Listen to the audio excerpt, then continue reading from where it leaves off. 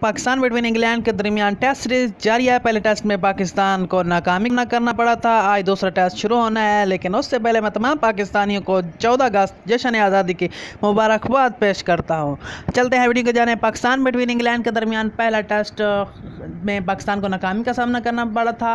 آج دوسرا ٹیسٹ شروع ہونا ہے اور اس میں آج بارش ہونے کا کبھی امکان ہے، طوفانی بارش ہونے کا۔ اور محکمہ موسمیات نے بتایا ہے کہ آج اور تقریباً ایک ہفتے کے علاوہ تمام دن رم جھم لگے رہنے کا امکان ہے اور بہت میچ متاثر ہوگا، جس سے پاکستانی بیٹس مینوں کو کافی مشکلات کا سامنا کرنا پڑ سکتا ہے۔ کل پاکستانی بیٹس مینوں نے کافی زبردست پریکٹس کی۔ اسد شفیق اور اظہر علی نے اور شان مسعود نے نئی بال سے پریکٹس کی اور بالرز نے بھی بڑی محنت کیا ہے کال دیکھتے ہیں آج کیا بنتا ہے دوستوں، اور تمام تر اپڈیٹ کے لیے میرے چینل کے ساتھ جڑے ہیں دوستوں، میرے چینل کو سبسکرائب کر لیں اور ساتھ میں لگے بیل آئکن کو ضرور دبا لیں تاکہ تمام نئی آنے والی ویڈیوز کا نوٹیفیکیشن آپ تک پہنچ سکے۔ دوستوں کمنٹ میں رائے کا اظہار ضرور کریں اور اپنا خیال رکھیں۔ اللہ حافظ۔